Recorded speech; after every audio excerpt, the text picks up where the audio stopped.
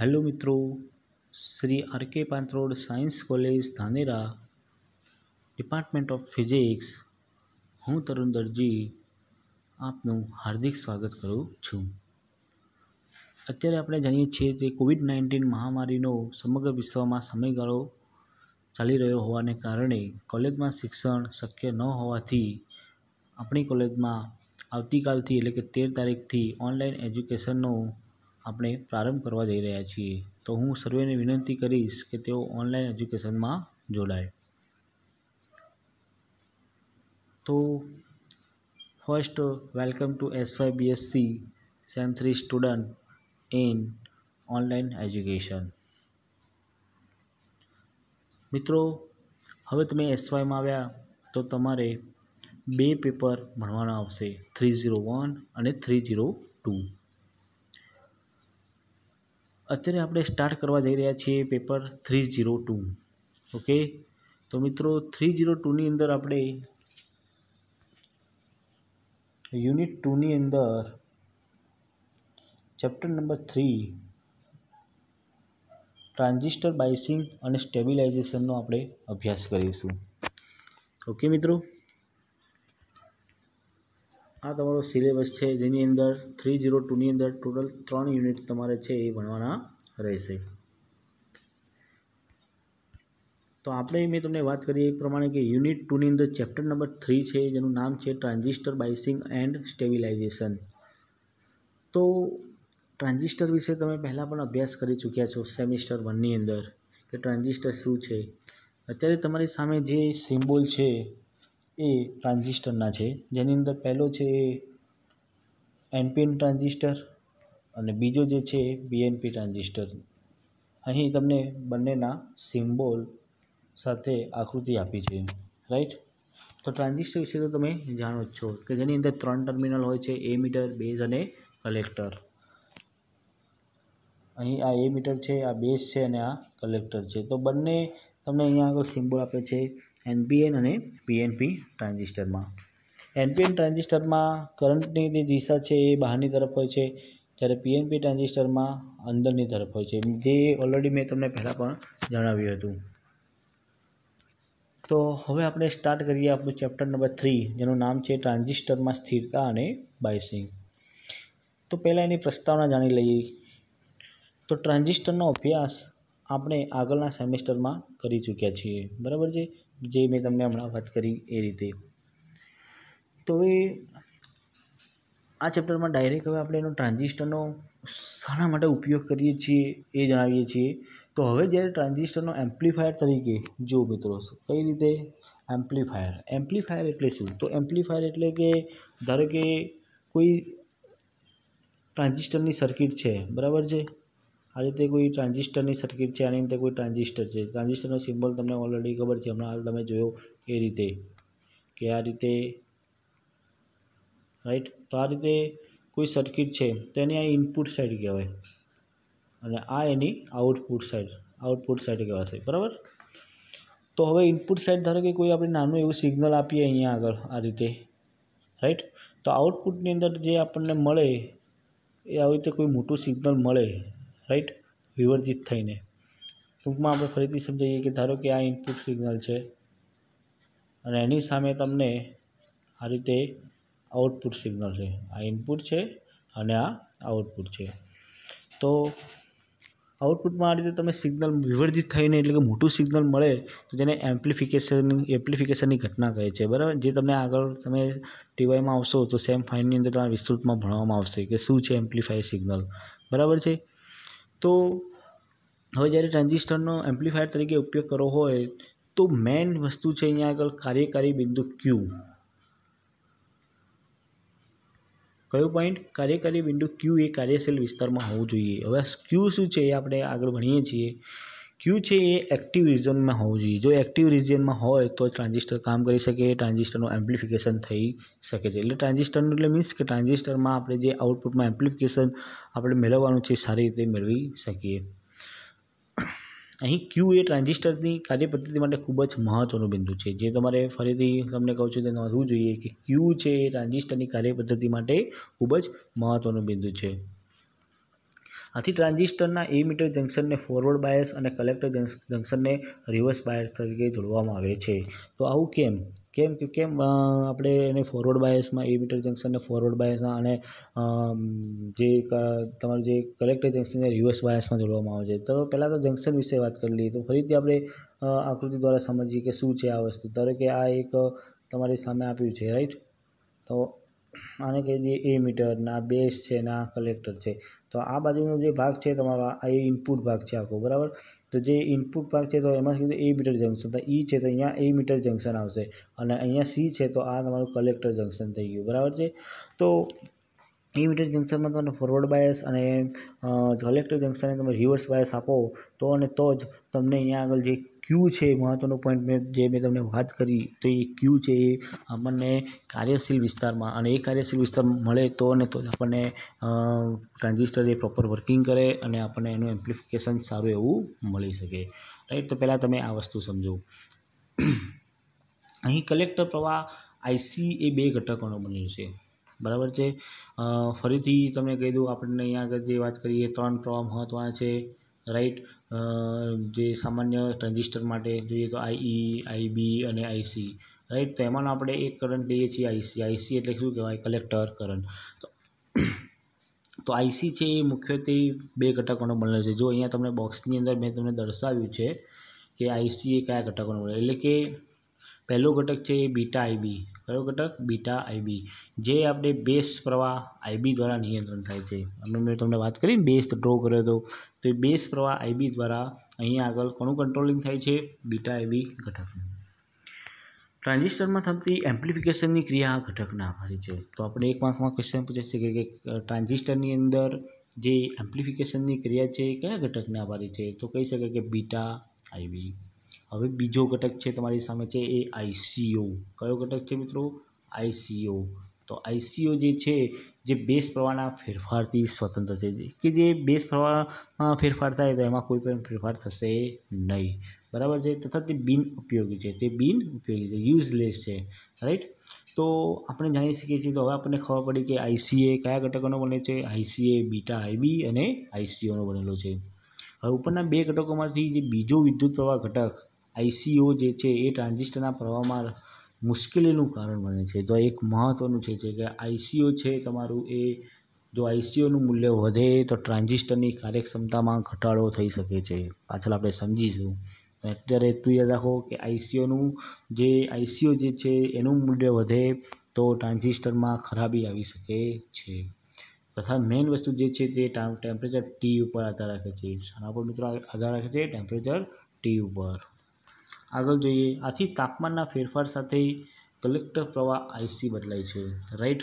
ફરીથી જોઈ લઈએ કે તાપમાન, અહીંયા વાત કોની કરી છે હવે? તાપમાનની વાત કરી છે. જે આઈસીઓનું મૂલ્ય છે, જે તાપમાન પર આધારિત છે ત્યાંથી આ તાપમાનના ફેરફાર સાથે, તાપમાનનો ફેરફાર થાય તો કલેક્ટર પ્રવાહ આઈસી પણ બદલાય છે અને કાર્યકારી બિંદુ ક્યુનું સ્થાન બદલાય છે. ઓકે? તો જો મિત્રો, ફરીથી આઈસી છે એ બે ઘટકોનો બદલો છે. મેં તમને ઓલરેડી જે કીધું એ પ્રમાણે, રાઈટ? તો આઈસીમાં ફેરફાર થાય, તો આઈસીઓમાં પણ ફેરફાર થાય છે. એ લીકેજ પ્રવાહ છે અને જેના કારણે શું થાય છે? ક્યુનું સ્થાન બદલાય છે. આથી આ બિંદુની સ્થિતિ અચળ રાખવા માટે કોની ક્યુ પોઈન્ટ? ક્યુ પોઈન્ટ ફરીથી કહું છું, બહુ બહુ એકદમ કહેવાય કે જે એમ્પ્લિફિકેશન ઘટના માટે ખૂબ જ મહત્ત્વનું પોઈન્ટ છે અને જે છે એ શું છે અહીંયા આગળ કે આ બિંદુની સ્થિતિ અચલ રાખવા માટે ટ્રાન્ઝિસ્ટરના બંને જંક્શનને યોગ્ય બાયસ આપવું જરૂરી છે. યોગ્ય બાયસ એટલે હમણાં હાલ આપણે ચર્ચા કરી કે એ મીટર જંક્શનને ફોરવર્ડ બાયસ અને કલેક્ટર જંક્શનને રિવર્સ બાયસ આપવું જરૂરી છે. હવે આ પ્રકરણમાં આપણે ટ્રાન્ઝિસ્ટરને જુદી જુદી કઈ રીતે બાયસ કરી શકાય? જુદી જુદી કઈ રીતે તમે બાયસ હવે અમને મેં તમને વાત કરી નાખી કે યોગ્ય રીતે બાયસ કરીએ તો અને તો જ પ્રોપર વર્કિંગ કરી શકે ટ્રાન્ઝિસ્ટર. અને પ્રોપર વર્કિંગ ક્યારે કરે કે જ્યારે ક્યુ છે એના કાર્યશીલ વિસ્તારમાં એક્ટિવ રિજિયનમાં કાર્ય કરે તો અને તો જ એ એક્ટિવ છે એવું કહી શકાય કોણ ટ્રાન્ઝિસ્ટર. બરાબર છે? તો કઈ રીતે આપણે જે અહીંયા મેં તમને વાત કરી કે હવે આપણે શું કરવાનું છે? અને યોગ્ય બાયસ તો યોગ્ય બાયસ કરવાની આગળ પદ્ધતિઓ આવે છે અલગ અલગ. અને એક ક્વેશ્ચન પરીક્ષામાં પણ પૂછાય છે. તો આગળ જોઈએ તો બાવીસ કરી શકાય તેવા પરિપત્રોની ચર્ચા કરીએ છીએ આ ચેપ્ટરમાં બીજું શું કરીએ છીએ તે કલેક્ટર પ્રવાહ આઈસી લીકેજ પ્રવાહ આઈસીઓના ફેરફાર સાથે કેટલા પ્રમાણમાં સ્થિર રહે છે? એટલે કે સ્થિરતા. શાની વાત કરીએ છીએ સ્થિરતા. એનો પણ અભ્યાસ કરીશું. આગળ આપણે બાયસિંગ જોયું. બાયસિંગ એટલે જે બાયસ આપણે કહીએ છીએ કે કેવું બાયસ આપવું જોઈએ, કેવી રીતે જોડીએ એને એ બાયસિંગ થઈ ગયું. અને જે આઈસીઓ જે છે એનું મૂલ્ય કેટલું અચળ રહે એટલે કે આઈસીઓ ઉપરથી આઈસીનું મૂલ્ય કેટલું અચળ રહે છે? અચળ કેટલું રહે છે? એટલે કે સ્થિર, સ્થિરતા કેટલી રહે છે? તો એ માટે શું થઈ ગયું? એ સ્થિરતા થઈ ગઈ. એટલા માટે આપણે જે ચેપ્ટરનું નામ છે, આપણે જે ચેપ્ટરનું નામ શું છે? સ્થિરતા અને બાયસિંગ કોના માટે? ટ્રાન્ઝિસ્ટર માટે. બરાબર છે? તો હવે આપણે પ્રસ્તાવના જોઈ લીધી કે આપણે શું શું ભણવાનું છે અને એમાં કયા કયા ફેક્ટર આવે છે, કયા ફેક્ટરનું શું કામ છે, કેટલું ઇમ્પોર્ટન્ટ છે એ વસ્તુ જોઈએ તો હવે આપણે ક્વેશ્ચન વન સ્ટાર્ટ કરીએ. તો આપણો ક્વેશ્ચન વન છે અહીંયા આગળ કે એમ્પ્લીફાયરમાં ઉષ્મીય અસ્થિરતા ઉદ્ભવતા પરિબળો ટૂંકમાં સમજાવો. એમ્પ્લીફાયરમાં ઉષ્મીય અસ્થિરતા સમજાવ ઉપજાવતા પરિબળો ટૂંકમાં સમજાવો. તેને શું કહેવાય? Thermal instability. બરાબર? તો હવે તાપમાન ઉપરનો એક આખો પ્રશ્ન છે, એ આપણે જોઈએ. તેનો આન્સર છે, તો common emitter. Common emitter એટલે હમણાં જ મેં તમારા આગળ જે આકૃતિ દોરી હતી, નાનો એક સિમ્બોલ દોરો ડ્રો કર્યો હતો ઇન્ડિકેશનની મદદથી. તો એ કોમન એ મીટર એમ્પ્લીફાયર પાસમાં આઈસી એ નીચેના સૂત્રોની મદદથી આપી શકાય છે. તો મિત્રો આઈસીનું જે અત્યારે જે નીચે સૂત્ર છે, એ બહુ જ ઇમ્પોર્ટન્ટ છે અને તમારે પ્રિપેર એટલે કે તૈયાર કરવું પડશે. બરાબર? એ આઈસી છે. આઈસી એ બીટા એ B plus beta plus one બ્રેકેટમાં, bracket number ICO right એટલે કે મેં તમને પ્રસ્તાવના એટલે કે ઇન્ટ્રોડક્શનમાં કીધું ખરા કે આઈસી એ કયા કયા ઘટકોનો બનેલો છે. તો કે બેઝ એક તો બીટા આઈબી અને આઈસીઓનો બનેલો છે. ફરીથી આપણે જોઈ લઈએ, જો અહીંયા બીટા આઈબી અને આઈસીઓનો બનેલો છે. કોણ? તો કે આઈસી ચલો આગળ વધીએ મિત્રો. અહીં આઈસીઓ એ કલેક્ટરથી બેઝ તરફ વહેતો લીકેજ પ્રવાહ છે. આઈસીઓને શું કહેવાય? મેં તમને આગળ વાત કરી લીકેજ પ્રવાહ કહેવાય. હવે સમીકરણ એકમાં તમે જુઓ કે જેમ જેમ ટેમ્પરેચર વધે, જુઓ પહેલાં માઇનસ પચાસ ડિગ્રી પછી પચીસ ડિગ્રી અને સો ડિગ્રી તો જેમ જેમ ટેમ્પરેચર વધે, એમ બીટાનું મૂલ્ય કોઈ અચળ પ્રવાહ માટે આઈસી પ્રવાહ માટે, કયા માટે? કોઈ અચળ પ્રવાહ આઈસી માટે બીટાનું મૂલ્ય તમે જુઓ સતત વધતું રહે છે. જુઓ અહીંયા આગળ જુઓ, પહેલો ગ્રાફ જુઓ, આ બીજો ગ્રાફ જુઓ અને ત્રીજો ગ્રાફ તો સતત વધતું રહે છે. જુઓ, પહેલાં પાંચ, પછી ડાયરેક્ટ જીરો એટલે કે પચીસ ડિગ્રી જીરો રહે છે. પહેલાં માઇનસમાં હતું એટલે ડાયરેક્ટ પંચોતેર થાય છે. રાઈટ તો આ કહી શકાય કે આ ત્રણેય પ્રાચલો, કયા ત્રણ પ્રાચલો? તો કે ભાઈ આઈસી બીટા આઈબી અને આઈસીઓના મૂલ્ય પર આધાર રાખે છે. કોના ઉપર આધાર રાખે છે?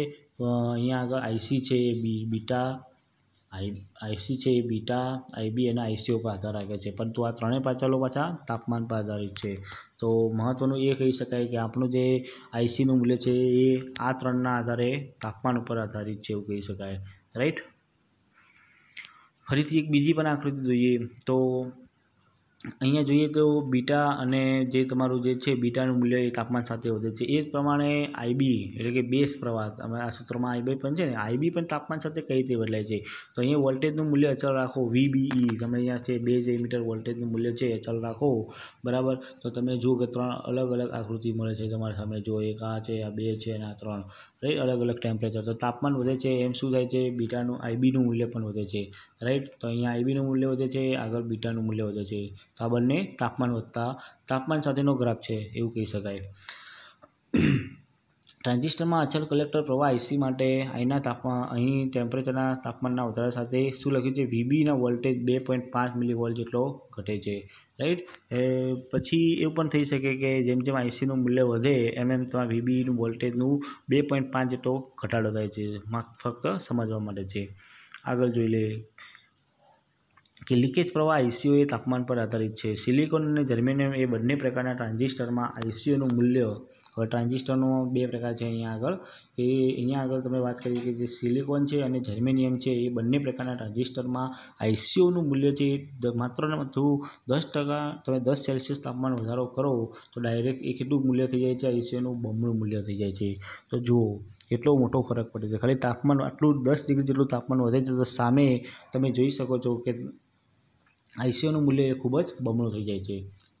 પછી એક બીજી વાત કરી છે કે એક જ પ્રકાર અને એક સરખા નંબરવાળા ટ્રાન્ઝિસ્ટર તમે લો, બજારમાં તમે લેવા જાઓ, તો ભાઈ એમ એક જ પ્રકાર એટલે નંબર ઉપર તમે એક જ નંબરના ટ્રાન્ઝિસ્ટર હોય, બરાબર? એક સરખા નંબરવાળા ટ્રાન્ઝિસ્ટર. તો હવે તમે આલ્ફાના મૂલ્યો એના અલગ અલગ હોય છે, બરાબર? હવે આલ્ફા કેમ? તો તમે હવે જુઓ, અહીંયા શું ફરક પડે છે? ધારો કે બે ટ્રાન્ઝિસ્ટર તમે લાવ્યા બરાબર? બંનેના નંબર એક સરખા છે. તો પહેલાં ટ્રાન્ઝિસ્ટરનો ધારો કે આલ્ફા કેટલો છે? અઠ્ઠાણું જેટલો એટલે કે ઝીરો પોઈન્ટ અઠ્ઠાણું જેટલો છે. ઝીરો પોઈન્ટ અઠ્ઠાણું છે તો હવે બીટા શું છે તો બીટા એટલે શું? આઈસી ઉપર આધાર રાખે છે. તો બીટા એટલે આલ્ફા આલ્ફા ભાગ્યા વન અપોન આલ્ફા. શું છે? આલ્ફા ભાગ્યા વન અપોન આલ્ફા. અને આ સૂત્રમાં જો તમે આલ્ફાની કિંમત મૂકો તો તમને બીટાનું મૂલ્ય કેટલું મળે છે? ઓગણપચાસ ફોર્ટી નાઇન હવે આ જ ટ્રાન્ઝિસ્ટર માટે તમે આલ્ફાનું મૂલ્ય પોઈન્ટ નવ્વાણું લો પોઈન્ટ અઠ્ઠાણુંમાંથી પોઈન્ટ નવ્વાણું લો, તો તમે જોઈ શકો છો કે બીટાનું મૂલ્ય નવ્વાણું મળે છે નાઇન્ટી નાઇન તો માત્ર ને માત્ર પોઈન્ટ એક ટકાનો જો ફક્ત એટલે કે એક સોરી એક ટકાનો તમે પણ તફાવત લો. એક ટકાનો તફાવત હોય આલ્ફા, આલ્ફાના મૂલ્યમાં, તો સામે તમે બીટા જોઈ શકો છો. આ બીટા બંને જે છે, એમાં ઘણો અને ઘણો મોટો તફાવત મળે છે. અને જો બીટામાં મોટો તફાવત મળે, તો આઈસીનું મૂલ્ય વધે ટેમ્પરેચર સાથે. તો મેં તમને વાત કરીએ કે ક્યુનું મૂલ્ય આપણને એક્ટિવ ઝોનમાં મળે નહીં. પછી બીજું આગળ જોઈએ કે અહીં દર્શાવેલ ઉદાહરણ ઉદાહરણ પરથી એવું કહી શકાય કે એક જ પ્રકારના ટ્રાન્ઝિસ્ટર માટે કલેક્ટર પ્રમાણમાં મોટો તફાવત જોવા મળે છે. પરિણામે એમ્પ્લીફાયર એ વોલ્ટેજ ગેઇનમાં પણ મોટો તફાવત, એટલે કે વોલ્ટેજ ગેઇન જે ગેઇન વોલ્ટેજની ક્ષમતા છે એમાં પણ મોટો તફાવત જોવા મળે છે. આથી આપણે કહી શકીએ કે ક્યુ કે જે બી તમે ટ્રાન્ઝિસ્ટર લાવો બજારમાંથી, તો એ ટ્રાન્ઝિસ્ટરમાં ક્યુ બિંદુ છે, એ કેવું છે? બીટાથી સ્વતંત્ર હોવું જોઈએ. તો ખ્યાલ આવવો જોઈએ કે કેમ બીટાથી સ્વતંત્ર હોવું જોઈએ. કારણ કે બીટા છે એ આઈસી ઉપર આધાર રાખે છે અને તાપમાન વધે, તો ડાયરેક્ટની ડાયરેક્ટ ટ્રાન્ઝિસ્ટરની જે વર્કિંગ છે, એ બહુ ધીમું ચાલે છે. રાઈટ એટલે કે ધીમું ચાલે છે. વર્કિંગ મીન્સ કે ક્યુ છે, એ તમને એક્ટિવ રિઝમમાં ના મળે, તો તમારું જે ટ્રાન્ઝિસ્ટર છે પ્રોપર વર્કિંગ કરે નહીં. એમ્પ્લિફિકેશન મળશે નહીં. એક બીજો એક પણ ગ્રાફ આપ્યો છે, એ બહુ સરસ ગ્રાફ છે, અહીંયા એ બી સમજવા જેવો છે. કે તમને અહીંયા જો અલગ અલગ વિસ્તાર આપે છે, પહેલો છે સંતૃપ્ત વિસ્તાર અને પછી શું છે કટ ઓફ વિસ્તાર. તો આ સંતૃપ્ત વિસ્તારને કટ ઓફ વિસ્તાર ક્યારે મળે? તો એ તમને મેં હાલ વાત કરી કે તાપમાન જેમ જેમ વળે, તો આપ જે અલગ અલગ બધા મૂલ્યો બદલાઈ જાય બીટા આઈબી અને એસીઓના તો ક્યુનું ક્યુનું મૂલ્ય પણ એનું સ્થાન છે સતત બદલાયા કરે. કોઈ વખત સંતૃપ્ત વિસ્તારમાં જઈ શકે, કોઈ વખત કટ ઓફ વિસ્તારમાં પણ જઈ શકે છે. અને આ બે વિસ્તારમાં જો ક્યુનું સ્થાન હોય, તમને બતાવ્યું છે, બરાબર? આ જો અલગ અલગ ટેમ્પરેચર માટે. તો આ બે વિસ્તારમાં જો ક્યુનું મિલવું હોય, તો ફરીથી કહી શકાય કે ટ્રાન્ઝિસ્ટર પ્રોપર વર્કિંગ કરશે નહીં. એટલા માટે તમે જુઓ, અહીંયા આગળ ક્યુનું મૂલ્ય છે, ક્યુનું સ્થાન છે જોવા આવ્યું અહીંયા ફરીથી આપણે બતાવી ઇન્ડિકેશન કરી, આ જુઓ. એ આ છે તમારા માટે ક્યુનું સ્થાન, જે અહીં હોવું જોઈએ એક્ટિવ રિજિયન જેને કોને કહેવાય? એક્ટિવ રિજિયન બરાબર છે? તો આકૃતિ ત્રણમાં ટ્રાન્ઝિસ્ટરની આઉટપુટ લાક્ષણિકતા દર્શાવી છે. તાપમાનના વધારા સાથે લાક્ષણિકતાનો આલેખ એ ઉપરની તરફ ખસે છે. જુઓ, જેમ જેમ તાપમાન વધે જો અહીંયા તમને બતાવું છું કે અહીંયા જો અલગ અલગ ડોટ ડોટ લાઈન બતાવી છે ને, તો જેમ જેમ તાપમાન વધે, તો તમે જુઓ આ બધી લાઈનો છે જે થોડી કરવેચર લાઈન છે, એ શું છે, એના આલેખો જુઓ, સતત અહીંયાથી આ ઉપર જતા રહે છે. બરાબર? આ રીતે ઉપર જાય છે. તો જે શું બતાવે છે કે આઈસી વધે છે એમ બતાવે છે. અને આઈસી વધે, તો કહી શકાય ક્યુબ ઇન્દ્રિય સંતૃપ્ત વિસ્તાર તરફ ખસે છે ક્યારે ખસે સંતૃપ્ત વિસ્તાર તરફ, અહીંયા ક્યારે આવે?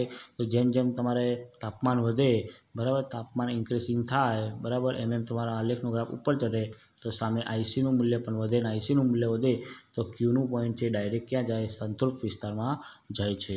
ઓકે જો આ વિસ્તારમાં ટ્રાન્ઝિસ્ટરનો ઉપયોગ કરવામાં આવે તો આઉટપુટ વિસ્તારમાં જો પાછું શું કીધું છે? સંતૃપ્ત વિસ્તારમાં જો ક્યુ પોઈન્ટ હોય તો શું થાય? ક્લિપિંગ જોવા મળે. સિગ્નલમાં શું જોવા મળે? ક્લિપિંગ એટલે કે એમ્પ્લિફિકેશનમાં વિકૃતિ જોવા મળે છે. એટલે કે જે એપ્લિકેશન જે આપણે તમારે આ રીતે જે થવું જોઈએ એની જગ્યાએ પ્રોપર થાય નહીં અને આ રીતે ક્યાંક તમે શું મળે?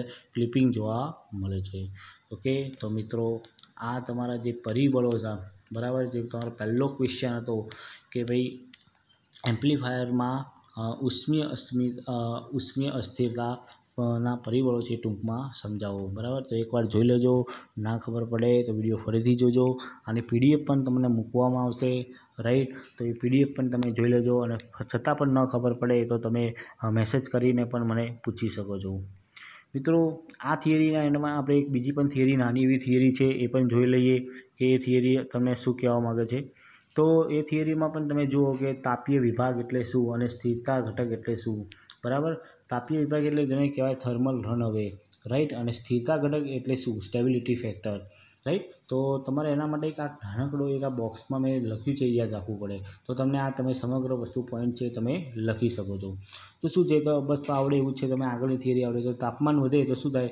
જેમ તમે અહીંયા તમે જુઓ કે તાપમાન વધે રાઈટ તો તમે હવે તમને ખ્યાલ આવી ગયો છે કે તાપમાન વગેરે તો આઈસીઓ વધે રાઈટ આ તમે જો આઈસીઓ વધે છે. જો તાપમાન વધે તો તમને શું વધે આઈસીઓનું મૂલ્ય વધે. અને આઈસીઓનું મૂલ્ય વધે તો સામે કોનું મૂલ્ય વધશે? આઈસીનું મૂલ્ય પણ વધશે. રાઈટ? કોનું મૂલ્ય વધે? આઈસીનું મૂલ્ય વધે. અને આઈસી એ શું છે? કે કલેક્ટર બેઝ જંક્શનમાંથી પસાર થતા જંક્શનમાં પાવરનો વ્યય થાય છે. અને આઈસી એટલે કલેક્ટર પ્રવાહ. અને કલેક્ટર પ્રવાહ એ બેઝ અને તમારું જે જંક્શન છે, કલેક્ટર બેઝ જંક્શનમાંથી આ આઈસીનું મૂલ્ય સતત વધતું મૂલ્ય જંક્શનમાંથી પસાર થાય. અને જંક્શનમાંથી પસાર થવાના કારણે શું થાય? એમાં પાવરનો વ્યય થાય. ઓકે? અને પાવરનો વ્યવ થાય એટલે પરિણામે શું થાય? જંક્શનનું તાપમાન વધે. એટલે જંક્શન શું થાય? ગરમ થશે. રાઈટ? હવે ફરીથી જંક્શન ગરમ થયેલા આઈસીનું મૂલ્ય ફરીથી વધે અને ફરીથી આઈસીનું મૂલ્ય વધે અને આ પ્રક્રિયાનું શું થાય? વારંવાર રૂપાંતર થાય. સોરી વારંવાર શું થાય? પુનરાવર્તન થાય. જોઈ લઈએ ફરીથી તો ફરીથી તાપમાન વધે તો તમને ખબર છે, તાપમાન વધે તો કોનું મૂલ્ય વધે? આઈસીઓનું લીકેજ પ્રવાહનું. લીકેજ પ્રવાહનું મૂલ્ય વધે એટલે કલેક્ટર પ્રવાહનું મૂલ્ય વધે. કલેક્ટર પ્રવાહ પાછો જંક્શનમાંથી પસાર થાય. એટલે જંક્શન શું થાય? જંક્શનમાં પાવરનો વ્યય થાય. એટલે શું થાય? એનું તાપમાન વધે. અને એનું તાપમાન વધે એટલે ફરીથી આ પ્રોસેસનું પુનરાવર્તન થાય. વારંવાર આ પ્રોસેસનું પુનરાવર્તન થાય એટલે શું થશે? ફરીથી તમારું અહીંયા લખ્યું છે કે વારંવાર પુનરાવર્તન થાય એટલે તમને પરિણામે આ વારંવાર પુનરાવર્તન થવાની ઘટના, એવું લખી છે કે વારંવાર પુનરાવર્તન થવાની ઘટના, જેને શું કહેવામાં આવે છે? તમે તાપીય વિભાગ કહેવામાં આવે છે કે થર્મલ રનઅવે જેને શું કહેવાય છે? થર્મલ રનઅવે અને થર્મલ રનઅવેથી ટ્રાન્ઝિસ્ટરને કાયમી નુકસાન થવાની પણ સંભાવના રહે છે. તો હવે દૂર કરવા માટે શું કરવું જોઈએ? તો બાયસિંગ પરિપથ કેવા હોવો છે એને યોગ્ય બાયસ કરવું જોઈએ. મેં તમે પહેલાં બી કહ્યું કે આ રીતે તમે ટેમ્પરેચર વધે તો ત્રણેય ફેક્ટરનું મૂલ્ય વધે તો એને ઘટાડવા માટે શું કરવું જોઈએ? યોગ્ય બાયસ કરવું જોઈએ. તો બાયસિંગ પરિપથો દ્વારા એ મીટર જંકશનને પ્રોપરલી ફોરવર્ડ બાયસ અને કલેક્ટર જંકશનને રિવર્સ બાયસ કરવું જોઈએ. જો અહીંયા છે રાઈટ? ઓકે? તાપમાનના ફેરફાર સાથે આઈસી અચલ રહે. એવું પણ કંઈક કરવું જોઈએ કે આઈસીનું મૂલ્ય અચલ રહે. જો જેટલું મૂલ્ય આઈસીનું અચલ રહેશે, એટલું જ આઈસી અચલ રહેશે, તો એટલું જ આપણે શું થશે? ક્યુ છે એ એક્ટિવ રિઝનમાં રહેશે. બીજું કે તમે વાત કરીએ પ્રમાણે, જો ટ્રાન્ઝિસ્ટરનું ક્યુ બિંદુ છે, એ બીટાથી સ્વતંત્ર હોવું જોઈએ. જેમણે હાલ તમને બે એક્ઝામ્પલ એક નાનકડા ઉદાહરણ દ્વારા સમજાવ્યું એ રીતે. બરાબર? કે જેથી કરીને ટ્રાન્ઝિસ્ટરની ફેરબદલી કરતાં તેનું સ્થાન અચલ રહે. રાઈટ તો આ થઈ ગઈ આખી સમગ્ર ઘટના જે તમને પરીક્ષામાં વારંવાર પૂછાય છે એક્ઝામમાં થર્મલ રન હવે બરાબર? સ્થિરતા ઘટક જેને સ્ટેબિલિટી ફેક્ટર હવે સ્ટેબિલિટી ફેક્ટર એટલે શું? તો સ્થિરતા ઘટક એ લીકેજ પ્રવાહ આઈસીઓના ફેરફાર સાથે, તમે આઈસીઓમાં ફેરફાર થાય, બરાબર છે? જે આઈસીઓમાં ફેરફાર થાય છે રાઈટ તો આઈસીઓના ફેરફાર સાથે આઈસી કેટલા પ્રમાણમાં અચલ રહે છે? આઈસીઓનો ફેરફાર થાય, સતત તમે અહીંયા આગળ તમે ઇક્વેશનમાં જુઓ, એ આ તમારું ઇક્વેશન છે રાઈટ તો આ આ આઈસીઓના ફેરફાર સાથે આઈસીઓના ફેરફાર સાથે આઈસી કેટલા પ્રમાણમાં અચલ રહે એ તમારે જાણવું હોય. તો તમારે શું કરવું તો એ કેટલા પ્રમાણમાં અચલ રહે છે? એ દર્શાવે છે. સ્થિરતા ઘટક તમારે જે આઈસીયુનું મૂલ્ય બદલાય, તો આઈસી કેટલા પ્રમાણમાં અચલ રહે છે એ દર્શાવે છે. તો ટ્રાન્ઝિસ્ટર પરિપથમાં બીટાના આઈબી અચલ રાખી, તમે એવું કંઈક કરો કે બીટાના આઈબી ન વધવું જોઈએ એને અચળ રાખી અને આ તમે જુઓ, તો આ આઈસીઓ જે નીચે છે ઘટક બરાબર એ આઈસીઓનું આઈસીની સાપેક્ષે શું કરો? આઈસીઓનું આઈસીની સાપેક્ષે વિકલન કરો રાઈટ અને એટલે કે થતો ફેરફાર વિકલન એટલે એનો દર. એને શું કહેવાય? સ્થિરતા ઘટક. તો ટૂંકમાં સ્થિરતા ઘટક એટલે તમારે યાદ રાખવાનું કે એસ બરાબર શું કહેવાય? તો કે ભાઈ ડી આઈસી ભાગ્યાકારમાં ડી આઈસી ઓ ખ્યાલ આવે છે મિત્રો? રાઈટ જેમાં તમારે બીટા અને આઈબી અચળ રાખવાય બીજી એક વસ્તુ જોઈએ કે જો એસનું મૂલ્ય ઓછું તો તેમ પરિપથ વધુ સ્થિર છે એમ કહી શકાય. રાઈટ અહીંયા તમે જુઓ કે અહીંયા એસનું મૂલ્ય ઓછું એનો મતલબ શું છે કે આઈસીઓનું મૂલ્ય ખૂબ જ વધારે એટલે કે એના એનો ફેરફારનો દર સતત ફેરફાર કરતા રહેવું પડે. તમારા આઈસીઓનો મૂલ્ય લીકેજમાં થતો એનો સતત ફેરફાર નોંધવો જોઈએ. અને એ ખૂબ જ વધારે હોય તો એસનું મૂલ્ય ઓછું તો તમને પરિપથ સ્થિર છે એમ કહી શકાય. અને તમે જુઓ કે છેલ્લી લાઈન છે કે આદર્શ પરિપથ માટે એસનું મૂલ્ય કેટલું હોય છે? એક હોય છે. આદર્શ જે પરિપથ માટે એસનું મૂલ્ય કેટલું હોય છે? એક છે. આના શોર્ટ ક્વેશ્ચન માટે પણ તમને આ પૂછી શકે છે રાઈટ તો આશા રાખું છું મિત્રો, તમને આ વીડિયો પસંદ આવ્યો હશે અને તમે એમાં વારંવાર એનું પુનરાવર્તન કરજો. ના ખબર પડે તો તમે તમે મને પૂછી શકો છો મેસેજ દ્વારા okay thank you for watching video